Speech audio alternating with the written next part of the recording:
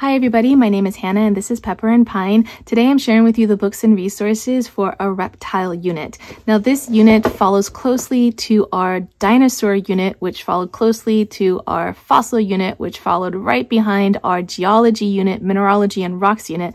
So all of these sort of together make a huge unit but I'm going to focus on just a couple of resources for reptiles in particular in case that's all that you want to do. But I do highly recommend that you tie it in with some of these other units because they were super engaging.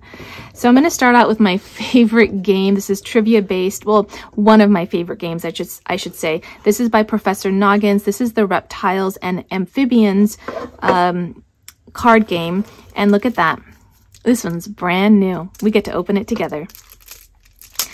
So this game, these games have uh, beautifully illustrated cards. However, this is the old version. The new version has photos on the cards that might also include some illustrations, but all of the illustrations have been updated. So you're not going to find these ones anymore unless you find one of the older kits, which this one is, or older games, the older versions. So these ones, oops, I just, oh, here it is. These ones, like all the other Professor Noggin's games, come with illustrations on one side and questions on the other side. They have easy and they have hard. Sometimes I'll do the hard questions for myself. Like my kids and I will play this. We'll give each other like maybe five cards and then we'll ask the other person a question and then whoever gets it right gets to keep the card. And sometimes they'll ask me the hard questions and I'll ask them the easy questions. And sometimes I can ask them the hard questions and they have to ask me the easy questions. But it's a really fun game. We won't play the whole stack because that might take like 45 minutes, but we will play like maybe five cards at a time. And if we have a little more time, we'll play more cards. Um, it does come with dice, but we never use the dice. We just will ask like the first question. And if that question's already been done, like if we're playing this every day for a unit for like, you know, a week or so, then we would have gotten through all of the cards at least once. In that case, we'll just ask the second question and third question, and then we'll move on to the hard questions a little bit later in the unit. It's a little bit harder to play this right when you're starting out a unit only because your you and your children might not have enough information learned yet and this is trivia based so sometimes a little bit later in the unit or sometimes we'll just pull them out after the unit's done as a way to review the unit that we've already done okay I have a couple of books to share with you. This is one of the DK Eyewitness books and it's on reptiles. And the DK Eyewitness books are, they have a very similar format so they're actually, this one's kind of the opposite, almost no illustrations, almost all photography, or you have like some sketches, but it's not like illustration based the way you'd see a picture book and it's going to go through topics that I feel are contained within a two-page spread, which means that if you don't read this cover to cover, you can still just read selections and get enough information for if there's something specific, like a specific topic that you want to study within this book, you could just read a two-page spread and not have to worry about reading it cover to cover. At the same time, it's not much of a book to read cover to cover because it's some, it's disjointed in a way that doesn't flow so well to read it cover to cover. In part also because I don't, I don't particularly like books with a lot of captions. I prefer just to read, just read this main paragraph. All of these extra captions really, um, sort of derail me from the flow of reading the book. But what I've done in the past is that I'll just focus on this part and then we can get through the book much faster. And then based on the pictures, I'll ask the kids to choose like one or two different captions that, that interest them. And then that's all that I'll read and then we'll just move on. And that's worked really well for us because I started to give a lot of my DK Eyewitness books away because I was finding that I wasn't using them. They were taking up space. I'm sure another family could use them far more than I could. And I I just, I wasn't really enjoying them that much. And then when I sort of changed how I approached these resources, I found that th I found that they fit into our main lessons and unit studies a little bit better. So this one's called Discoveries and it's reptiles. And we have other books in this series and it's there i i like the illustrations but i realize that some of the books in our library are now maybe 20 or 25 years old. And so they have definitely aged and some of the content is still relevant. However when it comes to science content i do recommend that you pick up the latest books that are available because there can be uh, new research. Often there is new research that's uh, changes some aspects of the book. Sometimes it's just a main theme that changes. Like there's new research about dinosaurs, for instance, and that can change like some of the the main themes, and then maybe still the individual dinosaurs and the fossils that they found. Like that that hasn't changed. However, if you are looking to you know start up your this this new unit for the first time uh, the library is a really great source because they don't usually keep things that are too outdated. And that way you can kind of rest assured that it's some of the latest um, research in science for some of these books. Um, there's some things that don't change as fast as other um, other things. And so if you had these in your library already, like personally, I would still use them. And I would just maybe uh, refer to some online resources or uh, a book from the library if it was something that I was a little bit like unsure of. If I was reading something, I'm like, oh, you know, I'm not sure if that's that's still accurate or relevant. Okay, so I like this book because of the illustrations. I know that that's, again, not something that a lot of people are going to care for because the illustrations are a little bit more on the dated side, but they still appeal to me. So when I was putting this unit together, I went ahead and I picked up some of the other books that we have that relate to reptiles. And I have to say, I'll just say it from now, I know a lot of young children that have an extensive uh, extensive knowledge when it comes to reptiles, especially dinosaurs and and animals or mammals or whatever uh, animal group that interests them. I find that young children can dive really deep into that topic area. Um, of all of the science topics, I think reptiles is one that it has not interested me so much in the past to the point where that that game was still wrapped up. So clearly we haven't played it yet. But we did do our ocean unit and we have done other units that incorporated some of these topics like our dinosaur unit, but we haven't done specifically a reptile unit before. So I'm going to share with you some of the things that I think would fit into this unit. So we do have our turtles and I have to say that in the past I have been called out on calling tortoises turtles. So I apologize for that first off. And if I am saying anything wrong now moving forward regarding reptiles. I apologize as well. I am just not as familiar with them as other science topics. So I want to share with you this game and let me see if I can remember where we got it from. Uh, I It might have been, uh, you know, I, I can't remember now. Uh, yeah, okay, hold on. No, I can't remember where it's from, but you can get more information from seaturtles.org slash classroom dash resources. Uh, on the blog post that accompanies this video, you will find the link. At the moment, it escapes me. So if you enjoyed this one, um, then head over to the blog post that accompanies this video. It's going to include some of the other units as well. So it's quite a large unit we got these after we went to Hawaii one year, and this is actually where this turtle is from. And we were um, swimming in the ocean, and the sea turtles were just all around you. And we learned that you're not allowed to touch them at all, um, even though it's super tempting. And that's when we ended up getting this because we were just really intrigued by them. So each one of these is a different um, must be just of a different species possibly, or maybe they're male and female is why they're different colors. I'm really sorry about that.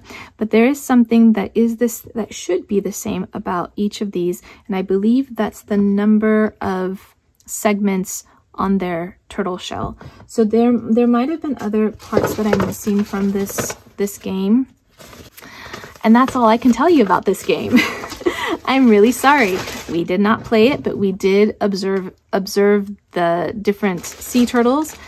Um, but that was that was the extent of this one. But it is just it's really nice, and the pieces are very nicely made. We did um, get our little sea turtle, our little wooden sea turtle, as a souvenir when we were in Hawaii. And also, Speaking of sea turtles, we have this wood, um, sorry, Woolpets needle felting kit. This was the sea turtle, and then these are the sea turtles that we needle felted.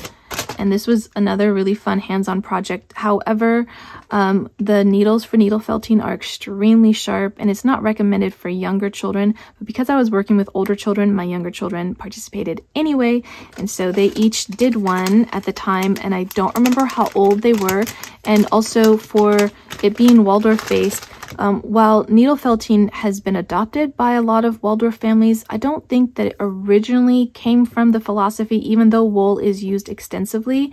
Um, but we did um, we did include this when my children were a little bit older. You can certainly include needle felting if you'd like, but it's not one of those hand uh, handwork skills that you're going to find in the curriculum. Just want to put it out there in case you're seeing this and wanting to include it for that reason. Moon's Messenger. Um, I really like this book, not only because the illustrations are absolutely stunning. I also really like the paper. So this is called stone paper and it, um, it's kind of cool because it, it seems like it's pretty environmental, but stone paper requires no water. It's pulp uh, and paper is one of the industries that pollute Oh, I'm sorry. Pulp and paper is one of the industries that pollutes the world's water supplies the most. Stone paper requires no trees. One ton of stone paper saves more than 20 trees. Deforestation is a fact and has a huge impact on biodiversity.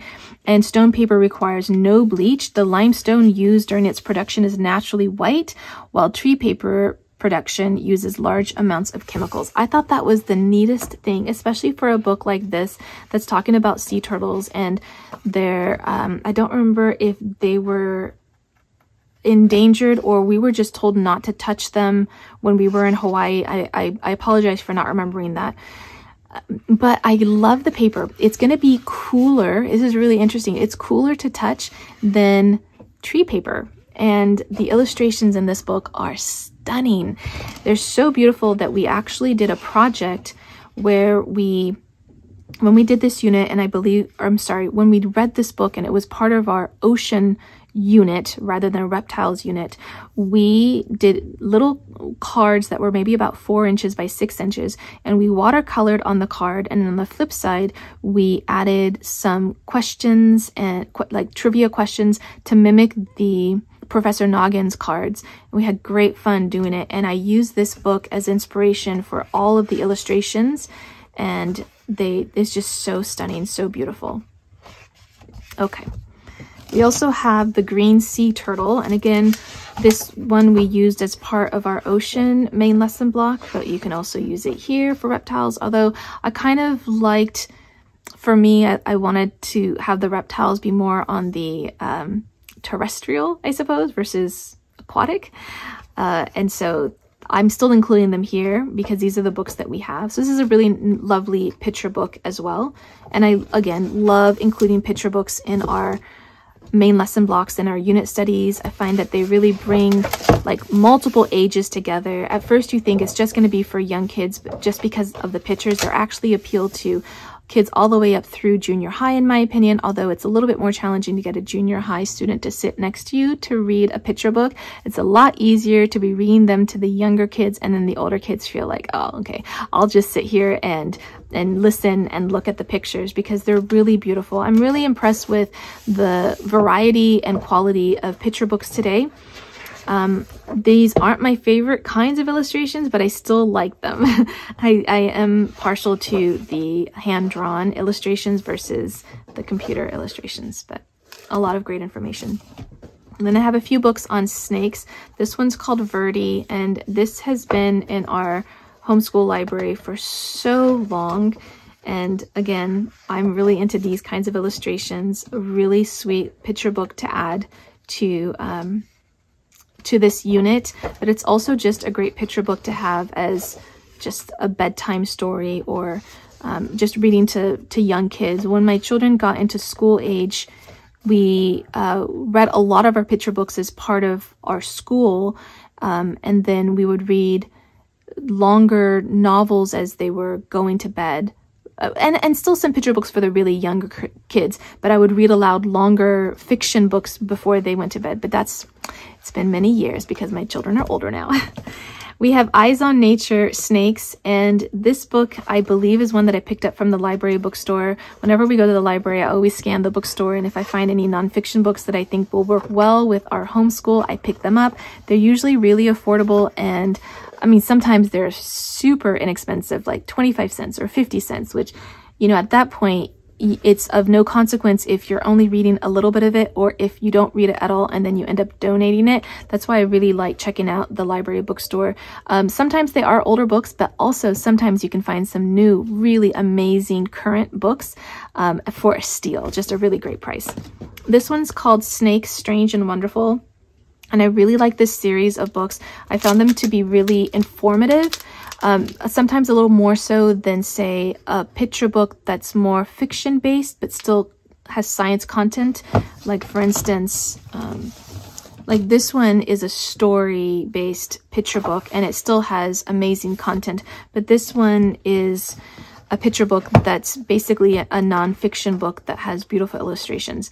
I believe that um, the beginnings of, of this series of books is a little bit more like a story and then it dives into the more scientific content. At least that's the ones that I remember reading. I can't remember for all of the series if they're like this. I ended up liking this book or the first one that we read and I don't remember which one it was. It might have been penguins or it might have been sharks, but I liked it so much. I ended up looking for all of the books in the series and at the time I think I got most of them. I don't know if there are new ones. This has been several years since we did that. Okay, I think that is everything. I hope that you enjoyed this look at our small but beautiful reptiles unit. I apologize for not knowing much about the Sea Turtles project. I hope that you'll check out the blog post that accompanies this video. You'll find all of the resources that I'm using and more pictures on the books that we have used as well as links to those materials. And if you'd like to see how we're homeschooling on a daily basis, you can find me on Instagram at Pepper and Pine.